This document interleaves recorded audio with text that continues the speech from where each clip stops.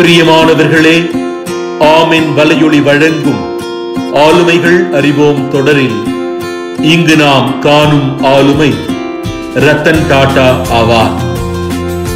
ரத்தன் நவால் டாடா என்று அழைக்கப்படும் இவர் ஓர் இந்திய தொழிலதிபரும் டாடா சன்ஸின் முன்னாள் தலைவரும் ஆவார் ஆயிரத்தி தொள்ளாயிரத்தி தொண்ணூறு முதல் இரண்டாயிரத்தி பனிரெண்டு வரை டாடா குழுமத்தின் தலைவராகவும் இவர் இருந்தார்.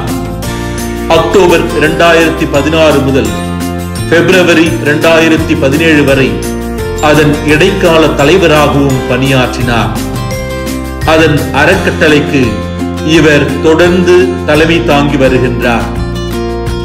வாழ்வில் பல உயரங்களை தொட்ட இந்த மாபெரும் ஆளுமையினுடைய ஆரம்பகால வாழ்க்கை அவரது வரலாற்றின் சில குறிப்புகள் இவர் இந்த மனித குலத்திற்கு விட்டு சென்றிருக்கிற அரிய வாழ்வின் முத்துக்கள் என இவரை குறித்த செய்திகளை இங்கே நாம் அறிந்து கொள்வோம்.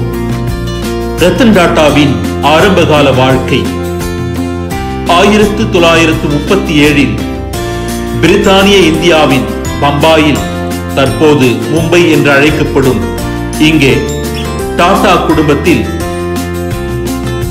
ஜம்சேத்ஜி டாட்டாவின் மகன் ரத்தன்ஜி டாட்டாவால் தத்தெடுக்கப்பட்ட நேவல் டாட்டாவின் மகனாக பிறந்தார். இவரது குழந்தை பருவம் இடர்பாடுகள் நிறைந்ததாக இருந்தது.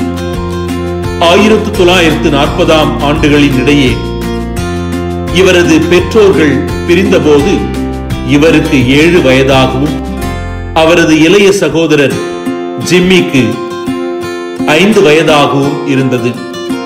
இவரது அன்னை குடும்பத்திலிருந்து வெளியேறிய பின் ரத்தனையும் அவரது சகோதரரையும் அவர்களது பாட்டியார் லேடி நவஜிபாய் வளர்த்தார். ரத்தன் டாட்டாவின் தொழில் வாழ்க்கை. ரத்தன் டாட்டா ஆயிரத்தி தொள்ளாயிரத்தி அறுபத்தி இரண்டாம் ஆண்டில் கோர்னெல் பல்கலைக்கழகத்தில் கட்டமைப்பு பொறியியலில் இளங்கலை பொறியியல் பட்டம் பெற்றார். பின்னர் ஆயிரத்தி தொள்ளாயிரத்தி எழுபத்தி ஐந்தாம் ஆண்டில் ஆர்வெல் வணிக பள்ளியில் உயர் மேலாண்மை பட்டம் பெற்றார்.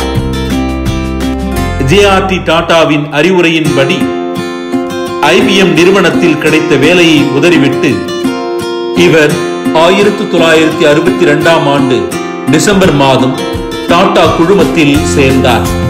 இவர் முதலில் டாடா ஸ்டீல் நிறுவனத்தில் பணியாற்ற ஜாம்ஷெட்பூருக்கு சென்று பிற உடல் உழைப்பு பணியாளர்களுடன் சேர்ந்து சுண்ணாம்புக்கள் வாருதல் மற்றும் சூளைகளை கையாளும் பணிகளை செய்தார். எட்டாம் வகுப்பு வரை மும்பையில் உள்ள கேம்பியன் பள்ளியில் படித்தார்.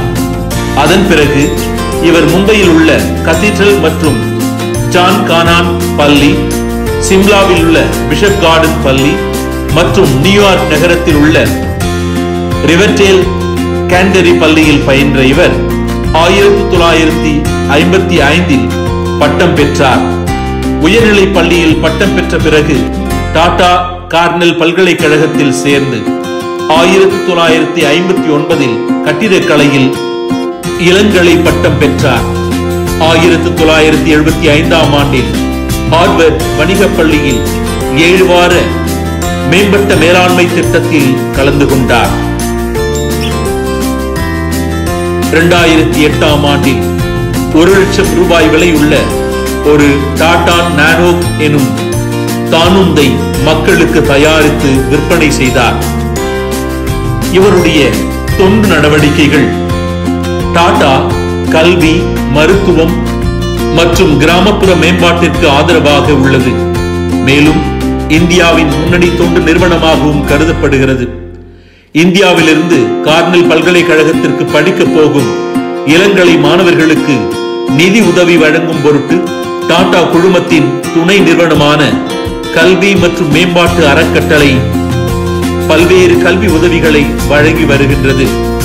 பொருளாதாரத்தில் மிக உயரிய இடத்தை எட்டிய இவர் தன்னுடைய சொந்த வாழ்க்கையை பார்க்கின்ற பொழுது ரத்தன் டாடா திருமணமே செய்து கொள்ளவில்லை. நான் நான்கு முறை திருமணம் செய்து கொள்ள நெருங்கி வந்தேன்.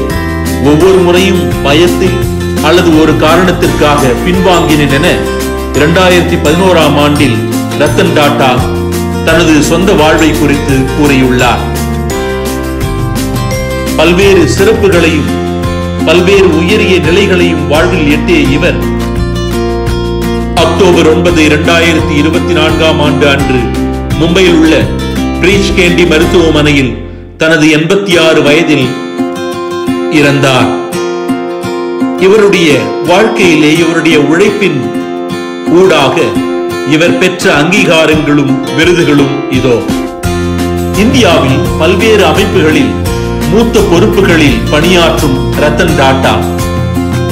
வணிகம் மற்றும் தொழில்கள் குறித்த பிரதம மந்திரியின் மன்றத்திலும் உறுப்பினராக உள்ளார். இரண்டாயிரத்தி எட்டாம் ஆண்டு நவம்பர் இருபத்தி ஆறு அன்று மும்பையில் நிகழ்ந்த வன்முறை சம்பவங்களுக்கு பின் ரத்தன் டாட்டாவை இந்தியாவின் மிகவும் நன்மதிப்பு பெற்ற வணிக தலைவர் என்று குறிப்பிட்டு இவர் அரசியலில் ஈடுபட வேண்டும் என்று போர்பஸ் இதழ் கருத்து வெளியிட்டது. இருபத்தி ஆறு ஜனவரி இரண்டாயிரம் அன்று ஐம்பதாவது இந்திய குடியரசு தினத்தையொட்டி படைத்துறை சாராத ஒரு குடிமகனுக்கு வழங்கும் மூன்றாவது பெரிய சிறப்பு பதக்கமான பத்மபூஷன் விருதனை ரத்தன் டாட்டாவுக்கு வழங்கினார்கள். இரண்டாயிரத்தி நான்காம் ஆண்டு பிப்ரவரி மாதத்தில் சீனாவின் ஜோஜியாங் மகாணத்தில் உள்ள ஹாங்சோ நகரத்தின் பொருளாதார ஆலோசகர் பட்டம் ரத்தன் டாட்டாவுக்கு வழங்கப்பட்டது. இரண்டாயிரத்தி ஐந்தாம் ஆண்டு ஆகஸ்ட் முப்பது அன்று லாஸ் ஏஞ்சலில் உள்ள தென் கலிபோர்னியா பல்கலைக்கழகத்தின் அறங்காவலர் குழுவிற்கு ரத்தன் டாட்டாவை தேர்ந்தெடுத்தார்கள். இரண்டாயிரத்தி ஆறாம் ஆண்டில் பொறுப்புடைய முதலாளித்துவத்திற்கான விருதினை இவருக்கு வழங்கினார்கள். மார்ச் மாதம் இரண்டாயிரத்தி ஆறாம் ஆண்டில் பொருளாதார கல்விக்காக ராபர்ட் எஸ். ஹாட்ஃபீல்ட் பெல்லோ விருதினை வழங்கி கார்னெல் பல்கலைக்கழகம் டாட்டாவை கௌரவித்தது. வணிகத்துறையில் சிறப்பு வாய்ந்த தனிநபருக்கு பல்கலைக்கழகங்களால் வழங்கப்படும் இவ்விருது மிக பெரும் பெருமையாக கருதப்படுகிறது. இரண்டாயிரத்தி எட்டாம் ஆண்டிற்கான நாஸ்கோம் உலக தலைமை விருதுகள் பெற்றவர்களில் இவரும் ஒருவர். இவ்விருது இரண்டாயிரத்தி எட்டாம் ஆண்டு பிப்ரவரி பதினான்கு அன்று மும்பையில் வழங்கினார்கள். இரண்டாயிரத்தி ஏழாம் ஆண்டு வழங்கிய நற்பணிகளுக்கான கார்னிகி பதக்கத்தை டாடா குடும்பத்தின் சார்பாக ரத்தன் டாடா ஏற்றுக்கொண்டார். இரண்டாயிரத்தி ஏழாம் ஆண்டு நவம்பர் மாதத்தில் பார்ச்சூன் இதழ் வெளியிட்ட மிகவும் ஆற்றல் மிக்க வர்த்தகர்கள் பட்டியலில் இவர் இடம்பெற்றார். இரண்டாயிரத்தி எட்டாம் ஆண்டு மே மாதத்தில் டைம் இதழ் வெளியிட்ட உலகின் மிக செல்வாக்குடைய நூறு பேர் அடங்கிய பட்டியலில் டாடா இடம் பிடித்தார்.